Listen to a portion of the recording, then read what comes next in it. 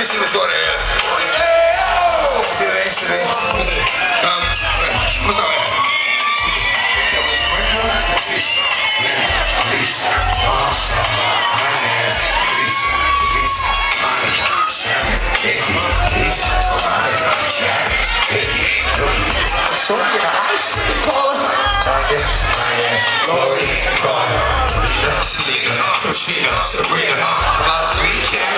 Latoya, Tina, Shelly, Bridget, Kathy, Rashida, Kelly,